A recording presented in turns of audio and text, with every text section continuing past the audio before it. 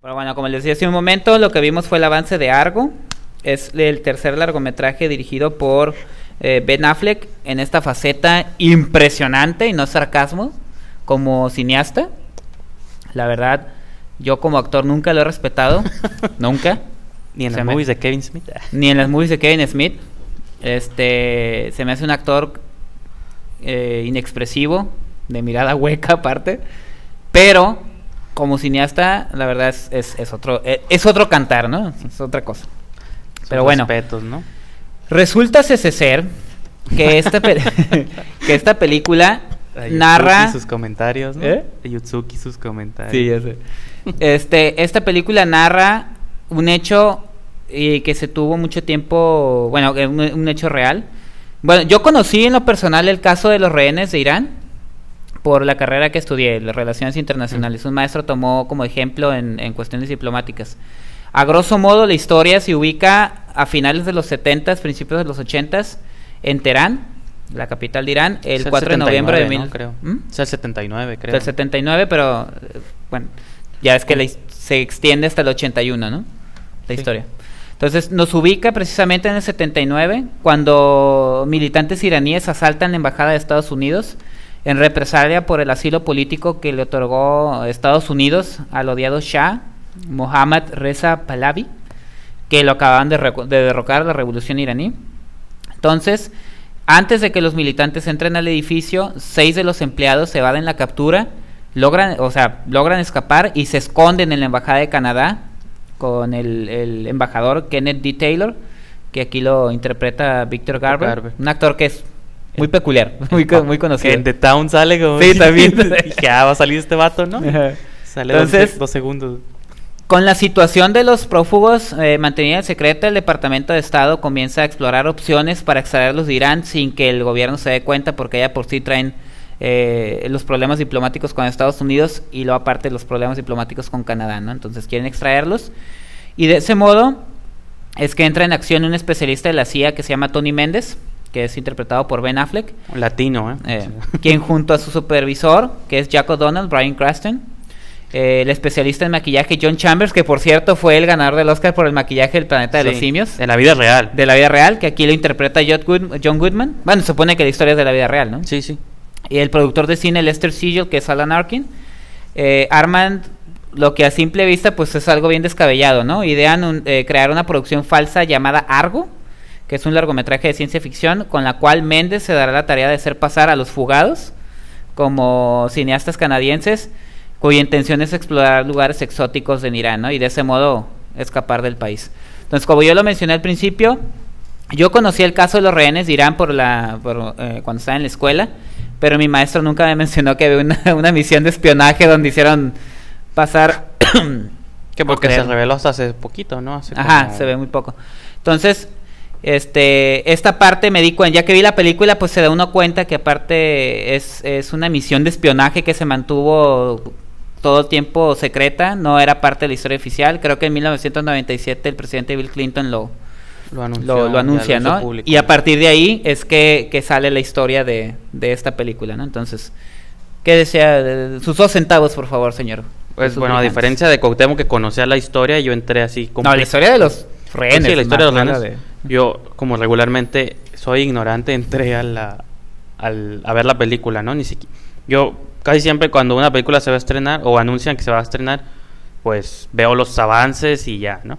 Pero la diferencia siempre en Estados Unidos salen como un mes antes, luego se estrenan aquí. Entonces ya para la memoria de pez dorada que tengo ya para cuando las veo aquí ya se me olvida, ¿no? Entonces yo fui a verla de algo sin ni siquiera haber visto el tráiler o ya ni siquiera acordándome de qué se trataba, ¿no?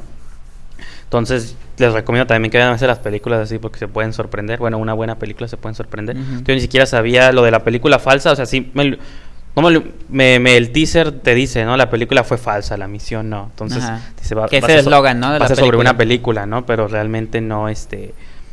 Pues no, no sabía cómo iba a estar integrado estos dos elementos, ¿no? Eh, yo la, tampoco tenía la referencia an- antes de Ben Affleck como director, que hasta apenas ayer en la noche vi The Town, Que, y ya comparo como los Muy dos buena, estilos de, de bu- de buenas películas, ¿no?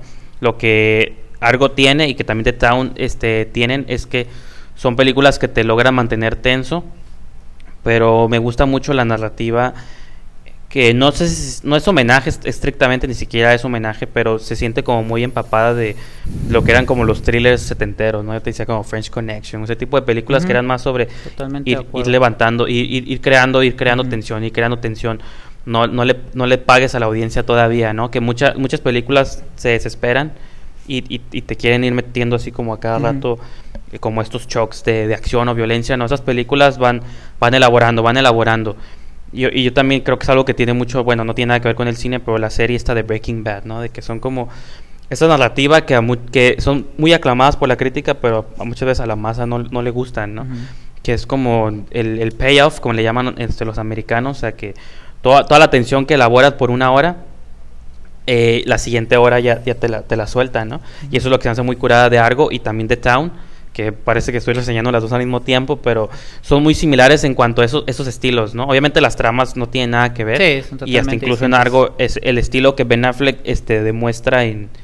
Se siente hasta raro hablar de Ben Affleck como director, ¿no? Porque la gente cree que estoy ¿Quién iba a decir, no? Ben Affleck ¿cómo se llama igual que el actor, no, es el actor. es el actor el que dirige. Pero es como Clint Eastwood, ¿no? Que él me lo dice, o sea, que son directores. es, como un joven Clint Eastwood, que un mal actor que como cineasta, como director, pues se representa un, sí, tiene su propio estilo, bien definido, disciplinado. Este, entonces digo, sí, Argo, la, la, secuencia inicial de Argo es impresionante, ¿no? Es casi como la secuencia inicial de Town, de que cosas así que suena vulgar, pero te agarran de las pelotas, ¿no? Así, tensión, tensión, tensión. Yo creo que es una especialidad de Ben Affleck, la tensión, ¿no? Y luego, ya, toda la historia, ¿no? Que dura un montón, como una hora y si no eres paciente y no te gusta el cine, o sea, no tan contemplativo, pero así como de que están pasando cosas, te puede llegar a aburrir, ¿no? No llega al, al, grado de Tinker Taylor Soldier Spy, pero al top, no. O sea, no llega a ese grado, pero, son ese tipo de, o sea, de que son lentas, va, a romper en algo, ¿no? Pero sigue entrando, o sea, la última parte es como ya eh, puede entrar dentro del cine de, acción, ¿no? Suspenso, donde sí, sí hay como un pago. Entonces, las, la primera secuencia de Argo es impresionante y luego los últimos media hora, 40 minutos, todo lo que lo que es ya la secuencia final, también está súper súper tensa, ¿no? Yo, yo le digo a Cuauhtémoc y le digo a todos este, los que les comento, siempre en el cine cuando ves una comedia la gente se ríe o cuando ves una de terror oyes los gritos, pero casi nunca te toca escuchar a toda la audiencia pareja en el mismo momento absorber, o sea, exhalar, ¿no? O sea, inhalar más bien, como esos, esos suspiros de que todo el mundo está tenso y todo el mundo está por caerse en la cabeza, ¿no? y todo el mundo está como prensado del asiento y aventando las palomitas. No, de veras, o sea, es muy raro ah, que, sí, sí, sí, que, que, puede que tú lo sientas. Que puede que tú lo sientas porque tú estás metido en la película, pero el de un lado no, el de un lado está la cabeza al final. El, de un lado a lo mejor está platicando y el de allá está haciendo otra cosa, ¿no? Pero aquí sí yo fui a ver en, en, Plaza Río un viernes en la noche, ¿no? Llena la sala de gente.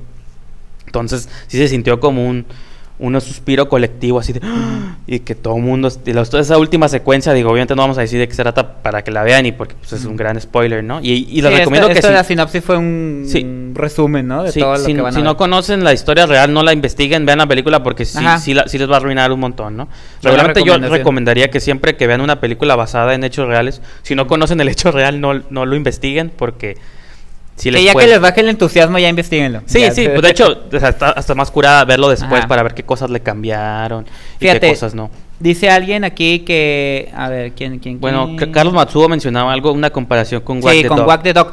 De hecho, qué bueno que lo mencionas, Carlos. Sí, pero el, el, tono y la estructura es totalmente distinto. Cuando Wack the Dog comienza como totalmente como una sátira, una, una, una comedia cínica después da como un giro hacia el drama y después como que se como que no sabes qué, qué, qué va a ser drama, va a ser comedia.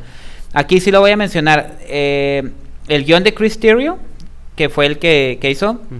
me gustó porque a diferencia de Wack the Dog, sí nos lleva por un camino totalmente exento de clichés para mí, porque te pone tanto los teje-manejes acá de, de, los, de la inteligencia secreta de Estados Unidos, y después te lleva a esta autoparodia que hacen de Hollywood, cuando Tony Méndez se mete cuando ya salen los personajes de Allen Arkin y de John Goodman es una autoparodia, pero pero no pierde el tono serio de la película. Pero, pero te muestra esa parte chistosa. Fíjate que es parodia homenaje, ¿no? Parodia yo me homenaje, mucho de, digo, Kevin Smith, digo, pues yo soy fan, ¿no? De que este él siempre en su podcast la estaba recomendando y donde hasta se siente como hasta tonos geeks, ¿no? Ahí de que hay homenajes a Star Wars, ¿no? Y, y, los monitos que te los pone también, o sea, cuando los créditos y todo. Entonces te quedas así como también a cierto punto va vinculado por ahí un homenaje a la ciencia ficción, porque de hecho el póster, yo quiero ese póster, ¿no? A ver si un día lo llegan a vender, el póster de que hacen de Argo. Mm. Bueno, ya lo dijo Cuauhtémoc ahorita, está basado en un hecho real donde, Son dos pósters. donde la CIA hizo una película falsa Ujú. para que el gobierno de, de allá pues pensara que realmente esas personas iban de parte de una filmación. Pero entonces se avientan el jale de diseñar un póster y todo. El póster de la vida real está bien chafilla, ¿no? Es nomás un fondo negro como un balazo y ya. De hecho lo pueden googlear Ajá, en imágenes que rompe, ¿no? Como si estuviera De rompiendo. hecho, a lo mejor se los pongo ahorita. Este, pero ya la película dieron el giro de que la película, según que estaban haciendo, era de ciencia ficción, este, ya de, pues era una parodia de Star Wars, ¿no? O sea, Sí. un chubaca azul, ¿no? De hecho, era una parodia de Star Wars, de Flash Gordon, Ah, de Flash un Gordon. montón de cosas. Pero te digo, esa parte, regresando a lo que pregunta Carlos, este no pierde el tono serio de la película. O sea, nada más nos introduce a esa autoparodia Sí. de Hollywood en lo que nos muestra porque así es Hollywood, ¿no? o sea, Y- no es no, se clava con eso, ¿no? Y que eso es como el temor que podría darte Ajá. al principio de decir, y ya le metieron comedia, ¿qué, qué onda? Sí, no?" porque hasta el tono de música cambia, cambia, los diálogos música así cambian. como rock and roll y Beach Boys o no sé qué música ponen. Te quedas, ¿qué está pasando? Y de hecho, y, pero de hecho hay un montaje donde están dando una rueda de prensa sobre la película, que es la comedia, pero al mismo tiempo están haciendo el montaje este, de, De lo esa que está pasando. secuencia con lo que está pasando en Teherán, ¿no? En, entonces, en Irán, entonces te quedas como... Están, está- están, están montando algo chistoso con algo serio, ¿no? Entonces... Sí. Pero el, el, el tono nunca se pierde y eso está muy suave porque que a, cualquier otro director este más Sí. chafón se le pudo haber ido de las No, manos. y también, y también parte del guion, yo creo que eso, yo recuerdo cuando Ben Affleck terminó The Town y que tuvo, fue alabada, dicen que muchos guiones llegaron para que los dirigiera. Y entre esos guiones le gustó el de Chris Terry. Entonces esto, por algo le gustó, Que por es- esa... es por otra esa- cosa, sus películas duran un montón. Bueno, Ajá. no duran mucho, duran dos horas. Pues no y- se siente. Dos horas y feria, pero me refiero a que son, son películas que, como me gusta que él tenga, tome esa ruta de decir, pues, Ujú. por ejemplo, The Town, Ujú. que me gustó, yo digo que me gustó como dos rayitas, bueno, una rayita arriba de algo, Ujú. por la historia. Este, eh, la- tiene como una historia de amor, ¿no? Me gustó mucho como que se tomara el tiempo de contar todo ese rollo, Sí. que si tú lo puedes decir, ah, pues no es importante, ¿no? Ujú. O sea, para lo que a lo Sí, mejor se te quiere contar al final. Tono Town, pero se toma como el tiempo y de decir, ok, a es- es- esta historia de amor se está desarrollando, los personajes están como con... Eso fue yo creo lo que hizo que me gustara un poquito más de Town, Mm. aunque suene cursi o lo que sea, pero ese elemento romántico, Sí. o al menos como esa relación de, de Ben Affleck y- la morrita, porque pues también es lo que también le, le hace el giro al, al personaje de Ben Affleck, ¿no? Sí. No, hablando de la otra película, pero hablando de algo también... Tienes, aquí no hay tanto como un personaje principal, aunque a pesar de que Ben Affleck es el protagonista, yo no diría que es Hay un todo, ¿no? es, es como que todos todos están, ¿no? Y de hecho está curado porque como todos son actores famosos, digo, Bryan tienes Cranston, Ben Affleck, John este, Goodman, John Goodman. Alan Arkin. Este Ben Affleck es el protagonista y es el que sale en el póster y todo, pero no son no es más importante él que los rehenes, ¿no? Bueno, que los es- bueno, los que se escapan, los seis, que a pesar de que no son actores famosos, Ajá. pero también tienen como su peso, ¿no? Y, Sí. y están ellos, lo otro, pero también es importante lo que está pasando en la CIA. Entonces, eso está curado que no hay como un hecho, personaje, ¿no? También cabe mencionar el trabajo de, de diseño de producción. Digo, estábamos hablando de una película que se ubica en una época pasada. Estamos hablando de finales de los 70, primer, principios de los 80. Eso también cuenta. Creo que el trabajo de Peter Brock y Dennis Kortuk sí está, está muy bien hecho. O sea, sí recrea de manera impresionante lo que es la época donde se ubica. Y también cabe mencionar el trabajo eh, del mexicano Rodrigo Prieto, que es el director de fotografía Mm.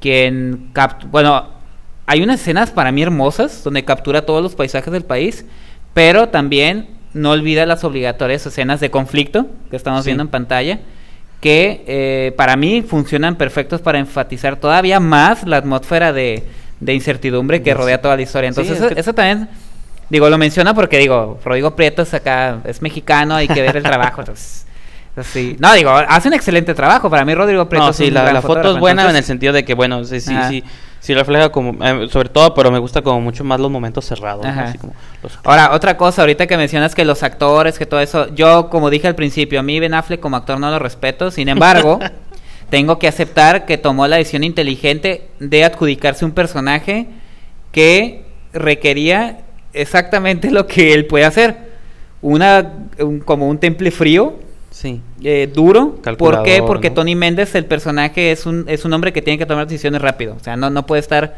este, viéndolo débil o, ay, voy a dudar. No es así se va a hacer y así lo vamos a hacer. De hecho, las decisiones que llega a tomar en la película son en todo momento arriesgadas, ¿no? Aparte de, por ejemplo, digo, la, la crítica ya está perfilando algo como nominada Best Picture, pero ahorita estábamos comentando de que ni, ni si- puede que llegue a tener nominación de mejor película, pero no va a tener ninguna de mejor actuación porque no hay ningún actor que esté no, no Por encima de otro. O a lo mejor como Ajá. de reparto ponen a Alan Arkin o a John Goodman. de Ajá, probablemente. O hasta Brian Cranston. Que por ejemplo a, a Red- Jeremy Renner estuvo nominado como Como mejor actor de reparto por The Town. The Town y que pues sí está curada, pero no era el protagonista, ¿no? Y no sale tanto, entonces digo, Ya, pero ahí sí. ¿qué? ahí sí siento que el Ben Affleck nomás no pudo levantar ahí el, en, en The Town. Ah, en The Sin Town, embargo, sí. en Argo, te digo, ahí notas la, la madurez de él como realizador. Porque hasta entiende Mira, qué, papel otorgarse a sí igual, mismo, ¿no? igual yo sí entiendo que se hacia él mismo porque pues es su película, ¿no? Hasta yo Sí, diría, hasta yo diría, ah, pues es mi película, yo la estoy haciendo. No, Yo- sí, pero- voy a por, por una cuestión hasta Ajá. de ego, yo diría, ¿no? Incluso, o sea, Yo es mi movie, yo, ¿no? es mi movie, pues yo me pongo, soy actor, ¿no? Yo haría eso, ¿no? Sí, sí, sí. Bueno, quién sabe. Pero- pues, Bueno, pero bueno. Eh, ya lo que dijimos de John Goodman, Alan Arkin, Brian Caston, pues ya este ya lo mencionamos, digo, grandes papeles, grandes interpretaciones. Entonces, a fin de cuentas, a mi Argo me pareció una excelente película. Sí, es- Obviamente la tenemos que recomendar con total confianza de que es una muy buena película. No. Eh, me gustó la energía de la ejecución, la fuerza del argumento, que lo vuelvo a repetir de Chris Terrio. Me gustó el trabajo de los actores. Eh, igual que Brijandes a mí me mantuvo al filo del asiento, Sí. casi casi arrancaba las, las, las agarraderas la- del asiento. la- Y más importante que esta cinta demuestra que la faceta de director de Ben Affleck no fue un accidente ni un capricho, sino eh, revela como un- lo revela como un interesante cineasta y la verdad la carrera que tiene Ben Affleck hay que hay que seguirla. Sí, de hecho, digo, son esas de películas que la ves y ya quieres ver cuál es el siguiente proyecto del, del director, ¿no? Este, Apodaca nos menciona un saludo a Apodaca. Lo mismo Ah, que, que dijiste, ¿no? De Lo que, acaba de mencionar que la, el trabajo de fotografía un- para mí de Rodrigo Preto fue una parte esencial también de la película. Y por ejemplo, yo los que me conocen saben que yo soy como más geek y a mí me gustan más películas como Prometheus y Los Vengadores, pero si hay una película que tienen que ver ahorita corriendo, ahorita en cuando se acabe el programa, se alcanzan la ah no, ya no alcanza la última no alcanza función. función. pero mañana mismo, Maricoles 2 por 1 vayan, vean algo, sí, sí vale la pena y digo, si, si se meten, si se engranan en la película, un, pequeño ya paréntesis, yo diría como igual para cerrar la, la conversación, esta película se puede prestar como para otras lecturas como políticas, este, de la situación de Estados Unidos, el terrorismo y todo ese rollo, cosas que no mencionamos aquí porque al menos a nivel personal yo no me engrano con eso, ¿no? Todas las, yo hace rato bromeábamos que hasta Dark Shadows le podemos encontrar lecturas este, psicológicas y políticas si queremos, ¿no? Y o sea, todo el cine se presta para eso y mucha, eh, mucha gente a veces por estar pensando en cuáles son las connotaciones, este se pierden como de, de la película, ¿no? Entonces aquí sí de que no, los gringos son los buenos, son los malos, porque siempre son las víctimas, bueno, esos son como son lecturas posibles que la gente puede hacer, pero como para, como otra vez repitiendo lo que dije hace rato, como objeto cinematográfico, yo creo que que- quedan sobrando, ¿no? O sea, es simplemente Sí, ¿Cómo registra esa frase de hoy en co- adelante? como como, objeto pie- como pieza de acción pues no como este cosas así o sea está curada ya digo cualquier lectura que se le pueda dar y, Sí. y sobre las posturas del terrorismo del cine americano que es una conspiración y que- pues eso es como para otros espacios para otras publicaciones y, y que pueden es- digo yo digo pueden estar o no pueden estar no otras personas con esos intereses este seguramente van a van a llegar ahí Dice eh, Manuel Alejandro, Dark Shadows es una metáfora de qué tan aburrida es la familia. Ah, que pues, con la familia, pues, Nel. pues publica esa tesis y a lo mejor sí no Sí, pero, sí, sí. Ah, pero pues bueno eso Nel. eso nomás yo nomás no quería quieres a tu familia. Yo nomás quería cerrar como con esa idea, ¿no? De que Ajá. pues nosotros no nos engranamos tanto con ese aspecto, este, pues con ese aspecto de la película, Sí. que pues al fin y al cabo no, Exactamente. pues los, los americanos siempre se van a poner como ellos los buenos, como México quizá, bueno en México siempre nos ponemos como los malos también, ¿no? A pesar de que, Ustedes, sí. como Sabina Rivas, ¿no? Sabina Y, Rivas, pues, ahora sí somos los malos. Ya no somos las víctimas, somos los malos. Este, y pues el programa